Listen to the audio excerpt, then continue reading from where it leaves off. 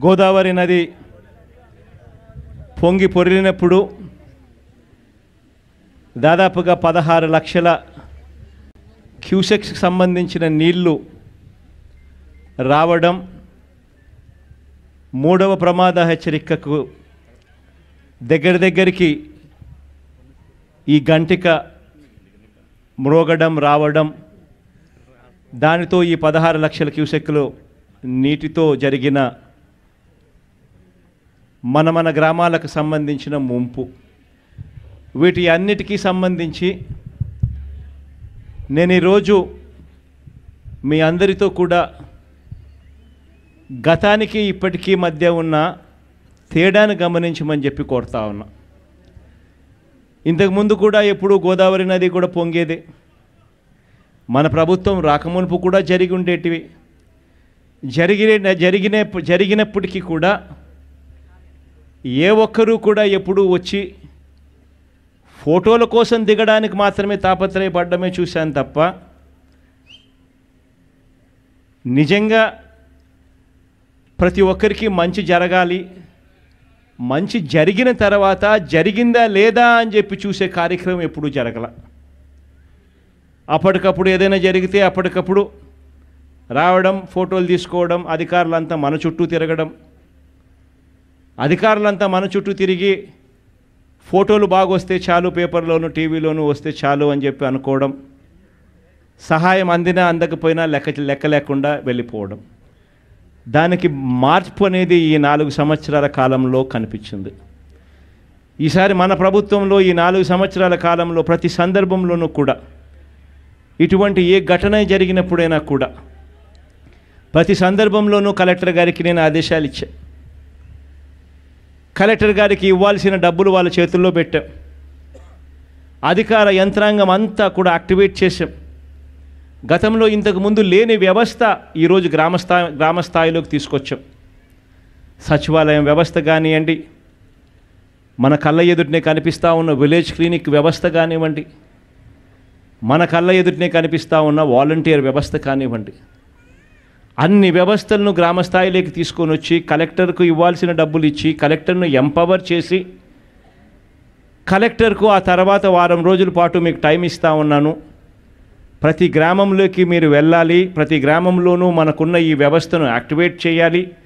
ఏ ఒక్కరూ కూడా మిగిలిపోకూడదు. నాకు ఫలాని సహాయం అందలేదు అన్న మాట ఏ ఒక్కరి నోట్లో నుంచి కూడా రాకూడదు అని కలెక్టర్లకు ఆదేశాలు ఇవ్వడం జరిగింది. ఆ ఆదేశాలు ఇస్తూ కలెక్టర్ గారికి కూడా చెప్పడం కూడా జరిగింది.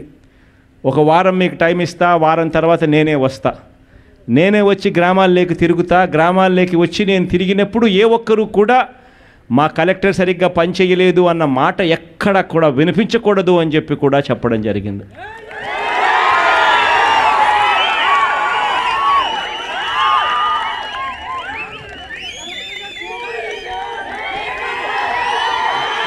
నిజంగా కూడా నిజంగా కూడా నిజంగా కూడా మనం తీసుకొచ్చిన ఈ మార్పుతో నిజంగా కూడా మనం తీసుకొచ్చిన ఈ మార్పుతో ఈరోజు నేను గ్రామాలలో తిరుగుతూ వస్తూ ఉన్నాను. ప్రతి గ్రామంలోనూ అడిగాను ప్రతి గ్రామంలోనూ అక్కడ ఉన్న వసతులు చూశాను. అక్కడ ఉన్న జరుగుతూ ఉన్న సహాయ కార్యక్రమాలు కూడా గమనించాను చాలామందిని అక్క చెల్లెమ్మలను అడిగా. పిల్లలను కూడా అడిగా. ఎలా జరుగుతూ ఉందమ్మా? బాగా జరుగుతూ ఉందా? సహాయం అందించాల్సింది అందుతూ ఉందా? మునకకు గురైన ప్రతి ఇంటికి అందాల్సిన రేషన్ అంతా కూడా అందుతూ ఉందా? మీ ఇంట్లో ఖచ్చితంగా ఇరవై ఐదు కేజీలు బియ్యం ఇచ్చారా?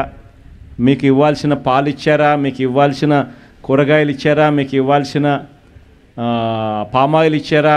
ఈ ఐదు రకాల వస్తువులు మీకు అందరికీ అందాయా?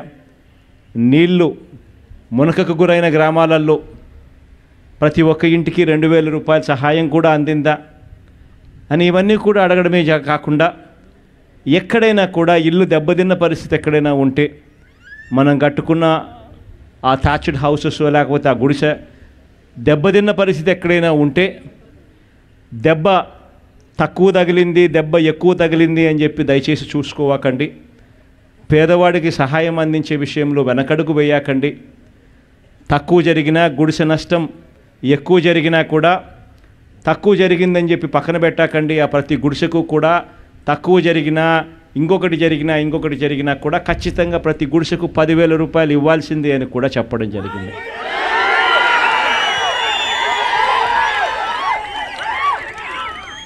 ఇవన్నీ కూడా ప్రతి అడుగులోనూ కనిపించాయి. ప్రతి అడుగులోనూ కలెక్టర్ గారు బాగా పనిచేశారు. కలెక్టర్ గారు మాకు అందాల్సినవి అన్నీ కూడా అందించారు అన్న ప్రతి మాట వింటా ఉన్నప్పుడు చాలా సంతోషం అనిపించింది.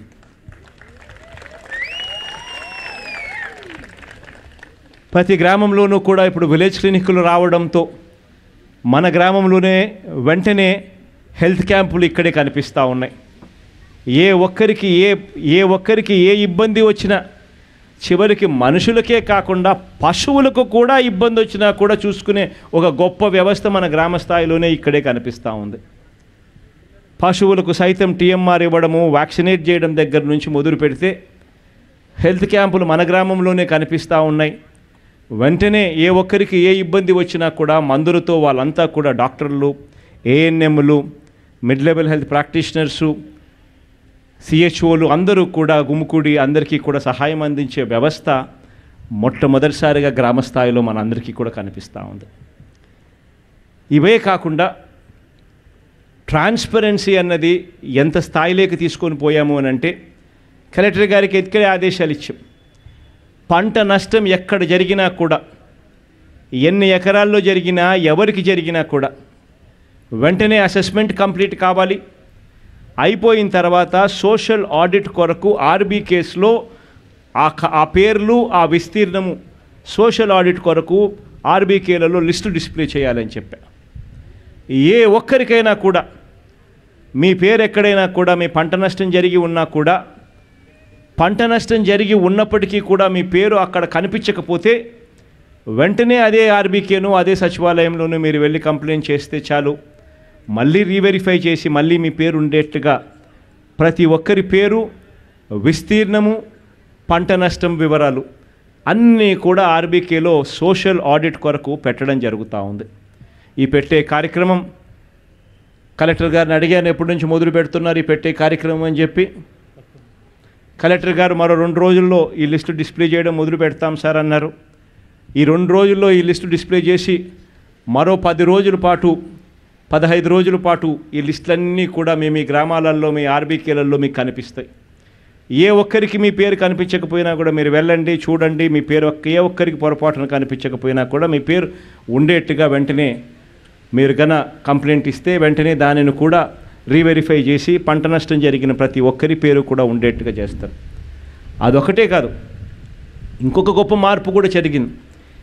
ఈ సీజన్లో ఈ పంట ఈ సీజన్లో మీకు జరిగిన నష్టం ఇదే సీజన్ ముగిసేలోగానే మీ చేతుల్లో డబ్బులు పెట్టే కార్యక్రమం చేస్తూ ఉన్న ఏకైక ప్రభుత్వం మనది.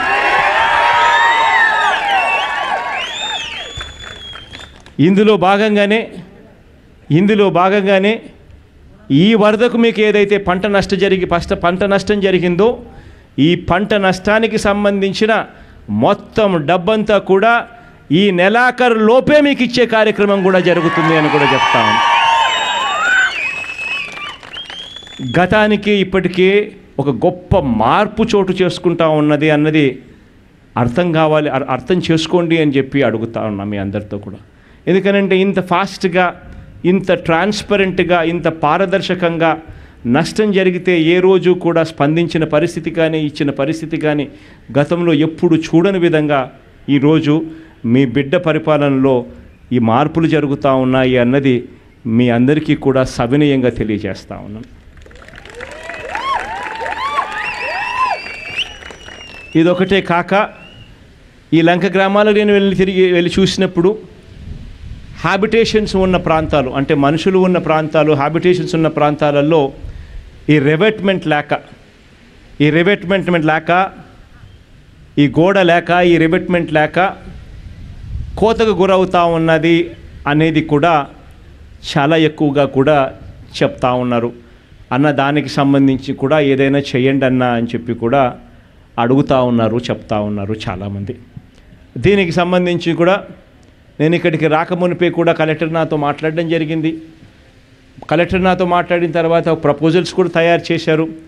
దాదాపుగా ఈ ప్రాంతానికి సంబంధించిన ఈ మాదిరిగా వాళ్ళంతా మ్యాప్ కూడా తయారు చేసి ఎక్కడెక్కడ హ్యాబిటేషన్స్ ఉన్నాయో ఆ హ్యాబిటేషన్స్కి సంబంధించి ఎక్కడెక్కడైతే గోడ కట్టాల్సిన అవసరం ఉంది అని చెప్పి అది కూడా వీళ్ళంతా కూడా పొట్లి లంక దగ్గర ఒక వెయ్యి మీటర్లని తానెలంక దగ్గర ఒక నాలుగు వందల మీటర్లని ఇప్పుడు కోనలంక ఇప్పుడు మనం ఉన్న ప్రాంతంలో ఎనిమిది వందల మీటర్లని గురుజో గురుజాపుర లంక దగ్గర ఒక ఆరు వందల మీటర్లని అదే రకంగా వివేకానంద వారధి దగ్గర మూడు వందల మీటర్లని ఈ కొందుకు కొండు కుదురు లంక దగ్గర నాలుగు వందల మీటర్లని ఈ తానే లంక దగ్గర నాలుగు నాలుగు వందల మూటలని ఇట్లా రకంగా ప్రపోజల్స్ అన్నీ కూడా తయారు చేసినారు.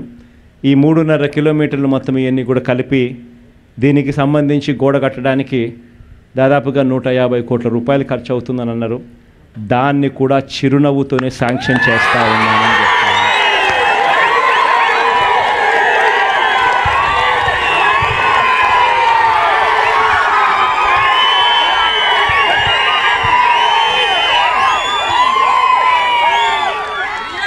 ఈ పనులకు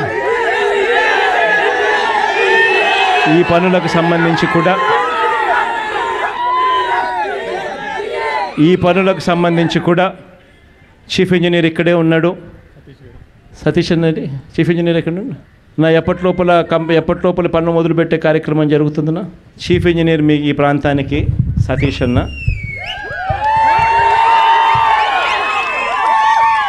పది రోజుల లోపల ఎస్టిమేట్లు ఇవ్వడం జరుగుతుంది. నెల రోజుల లోపల టెండర్లు కూడా పిలిచి శాంక్షన్ కూడా ఇచ్చి టెండర్లకు కూడా పిలవడం జరుగుతుంది. ఇది ఖచ్చితంగా. టెండర్లు అయిపోయిన వెంటనే మరో నెలలో వర్కులు స్టార్ట్ కావాలి. రెండు నెలల్లో వర్కులు ఇమ్మీడియట్లీ ఇక్కడ టేక్ ఆఫ్ అయిపోయి కనిపించాలా. ఎమ్మెల్యేలు ఎమ్మెల్యేలు కలెక్టర్ నా దగ్గరికి వచ్చి వర్కులు స్టార్ట్ అయిన తర్వాత ఫోటోలు తీసి నాకు పంపించాలి. మీది బాధ్యత.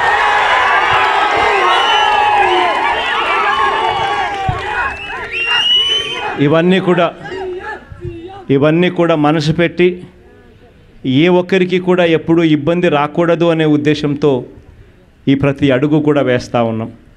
దేవుడు దయవల్ల ఇంకా మంచి జరగాలని మనస్ఫూర్తిగా కూడా మీ అందరికీ కూడా కోరుకుంటా ఉన్నాను. జరిగిన నష్టంలో మీ అందరికీ బాధ అనిపించినప్పటికీ కూడా మీ బిడ్డ మాత్రం చేయగలిగిందంతా కూడా చేసేదానికి వేగంగా అడుగులు ముందుకు వేస్తూ మీకు తోడుగా ఉన్నాడు అని సందర్భంగా తెలియజేస్తాను